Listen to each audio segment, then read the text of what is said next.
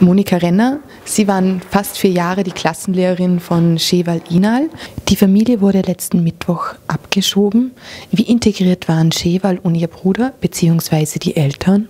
Also Cheval Inal ist zu uns gekommen als sehr fröhliches Mädchen. Sie ist sehr aufgeweckt, sehr aufgeschlossen, hat sofort Anschluss gefunden und hat sich auch sehr gut integriert, hat sehr schnell Deutsch gelernt und mit ihrer Art ist sie einfach sofort aufgenommen worden. Und auch ihre Eltern haben sich von Anfang an bemüht, an, an, Veranstaltungen der Schule teilzunehmen, zu Klassenfesten zu kommen und haben auch sonst regen Kontakt mit der Schule gesucht. Es gibt ja auch noch einen Bruder und auch dort lief es ähnlich. Sowohl Sie als auch der Elternverein sowie Freunde und Bekannte sind derzeit sehr engagiert, der Familie zu helfen. Was haben Sie in nächster Zeit geplant? Also es sind sehr, sehr viele momentan beteiligt. Es wird zum einen die rechtliche Seite geprüft. Das geht bis zum Anwalt der Familie, der auch daran arbeitet. Die Eltern hier in Götze sind, sind sehr, sehr engagiert. Der Elternverein ist im Boot.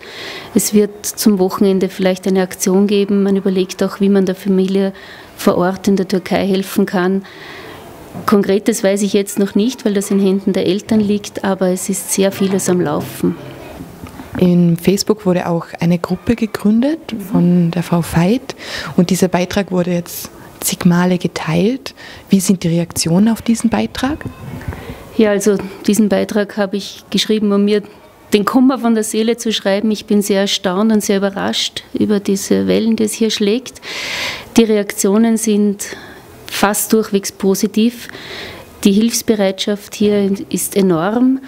Es gibt eigentlich keine negativen Nachrichten. Das einzige Postings, dass man die einen Flüchtlinge jetzt nimmt und die anderen wegschiebt, finde ich nicht so gut, denn es geht nicht darum, hier Flüchtlinge gegeneinander auszuspielen, sondern es geht darum, dieser Familie zu helfen. Und dadurch, dass ja die ganze Zeit mittendrin waren und versucht haben, der Familie zu helfen. Wie haben Sie das mit den Behörden aufgefasst? Ist da alles Ihrer Meinung nach korrekt abgelaufen? Auf jeden Fall. Die Behörden, die BH hat sich sehr kooperativ erwiesen und ist der Familie immer wieder entgegengekommen, um, um zum Beispiel der Mutter wirklich das Deutschlernen zu ermöglichen.